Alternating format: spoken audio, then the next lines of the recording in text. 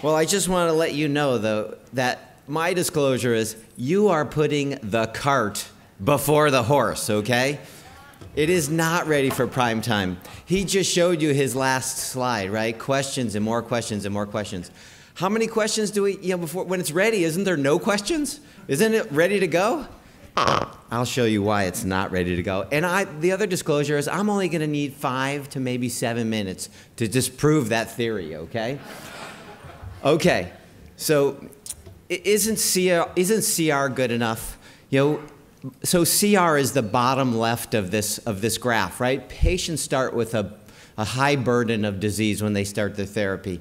And they can go to a very low burden disease with the drugs that we have now. And I'll show you a few slides in a second. So, you know, MRD, yes, at some point, MRD is going to be a good tool to be able to, to tell how deep we are. But right now, we have something better than CR. We have stringent CR. And what Dr. Kapoor didn't, didn't point to on his slides, he showed a nice slide that he's published that stringent CR is great. We can all do stringent CR right now. We can't all do MRD. And I believe in New York, you still can't do MRD, right? Should I stop here? No, I will keep going. Okay. So I do think that as we get better therapeutics, and on the left side is really old therapeutics in my mind. It's the old ones. It's the old ones like RVD and KRD, et cetera. But soon we're going to have, right, DARA KRD. You heard that today from Jonathan, and DARA VRD. It's going to be really amazing how deep of a remission we're going to get in the, in the uh, frontline therapy of patients. This is, you saw this from Jonathan, uh, initial data from the Griffin trial. In the bottom right, 94% of the patients achieved CR. Wow. In 50% of MRD negative. Now we're talking. Now we're getting to a point where we need a better test, right?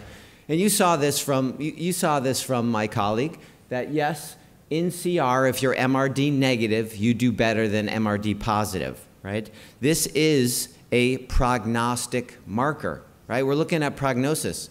It's an expensive prognostic marker, right? And you have to do a bone marrow. Do patients really want to have a bone marrow? Of course not.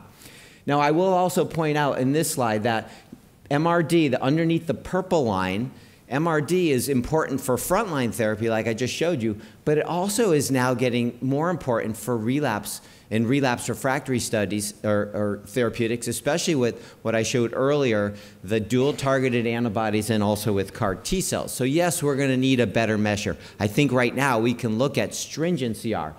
Here's, you saw this data with MRD. The people are MRD negative certainly have a better prognosis than people that are MRD positive. You saw it with with those relapse uh, therapeutics, with daratumab. we, I showed you it with CAR T cells in, in the past. Now, MRD assessment is it's now rec recommended by NCCN as part of standard follow-up post-transplant.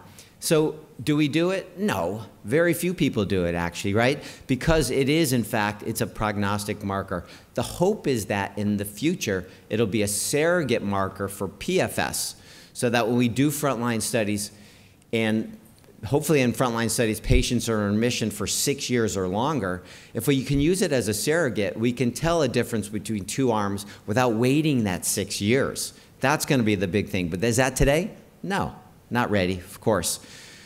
You saw this, you know, there are criteria for MRD, so we have the ability to look at MRD pre-transplant, post-transplant, in the non-transplant setting, and we also have to, we, we're looking at it for sustained, the first one, the second one, the third test. That means patients have to undergo all these bone marrows. Do they want to do that?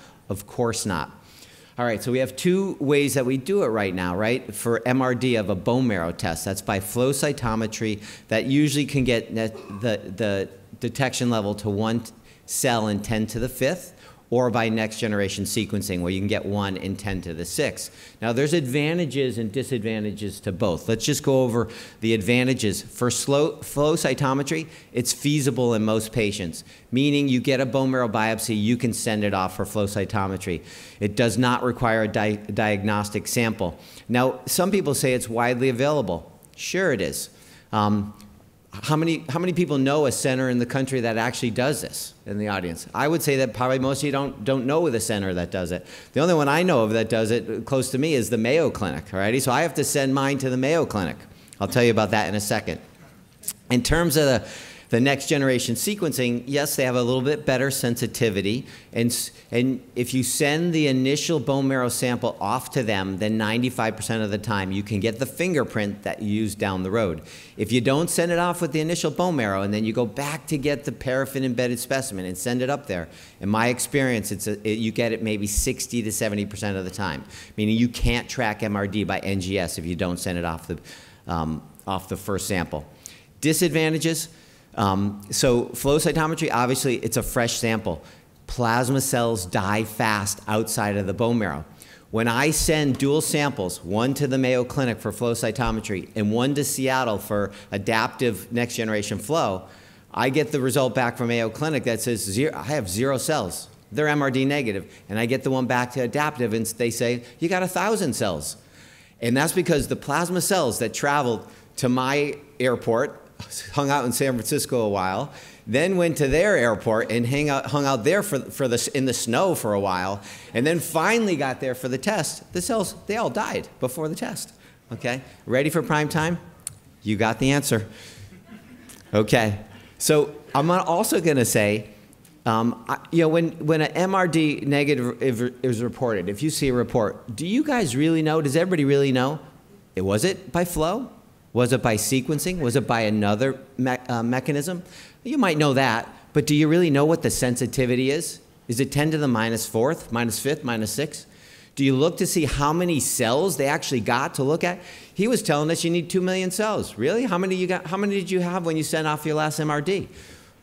Sometimes I don't even know. Sometimes the people don't even look. He said you need 10 million to get to 10 to the minus 6. That's not easy in a bone marrow biopsy. You have to be a very good person, a skilled person to get that bone marrow. In fact, if you look at this, if I show you this, if I put my needle in, in somewhere in this bone marrow and you see the, the basically the M MRI on the right, there's a, you're going to get a different, a, a different result depending on where you put that in the bone marrow, right? You, so it is very, it, it's very site specific, right? And if, especially if you do it in a patient that has had prior radiotherapy to the pelvis and you get a really low cell uh, result, you're not going to get a good MRD test. And then the final thing, the final thing I'll say is with MRD, the cells that come back, you don't know if those cells are good cells meaning the MGUS-like cells, we all have patients whose M protein went down to 0.1 or 0.2 and it stayed that way for 10 years, right? They have MGUS again. So if you do an MRD test, you're going to see, wow, they have, still have a lot of cells left. But if they're MGUS cells, who cares, right? Who cares? Do I have to keep going? Okay. So Joe's telling me to go so I can finish. So I'm gonna, I'm actually gonna advance. You guys can look at this. I'm not gonna show you, show you, I'm gonna show you one other caveat. So this is one of my colleagues at UCSF got this back. And I'm gonna focus your attention on the third sentence. I'll read it. The estimated MRD value for this sample collected on August 18th has changed from zero to 17 residual clonal cells per million nucleated cells. That's when they redid the test six months later. It changed from zero to 16. So if we made a decision at zero and now it's 17, we just messed it all up, right? Is this ready for prime time? Heck no. Okay, my last, the last thing I'm going to say, because I do want to do only five minutes, this is what we need. We need induction, we need MRD testing, we need a decision tree. We, make to, we need to make a clinical decision whether it's MRD positive, two decisions, or MRD negative, two decisions. And then we need to go on to our further therapy, maintenance, and then decide if they're, if they're negative, you know, when it starts to become positive, do we treat them then and what do we treat them then with? So there's many different things that we need to do. I'm not going to show you my clinical case other than to show you this woman of mine got MRD positive after her auto, auto transplant. Is that enough to make a decision? No, right? we actually, oh, the, the graph went out. The goal is to actually have a duration of MRD negative. So this woman was MRD negative. She stayed on lenalidomide. She was a piano uh, player. She got toxicity. We then took her off because she was MRD negative. In, a, in six months or a year later, her MRD is now positive. And then she says to me, what do I do? I said, I don't know. Why are we testing this? It's not ready for prime time, right? The future MRD is to do it in a blood test, right? Not in a bone marrow test. We have to do it in a blood test. That's going to happen. It's going to be happening by circulating cell-free DNA It's going to happen by mass spec. My colleagues at the Mayo Clinic, they're now doing mass spec of M proteins. That's going to be better than actually any of these other bone marrow MRD tests or doing mass cytometry or CyTOF on peripheral blood. And with that, I'll conclude. Please vote. Is it ready for prime time? No.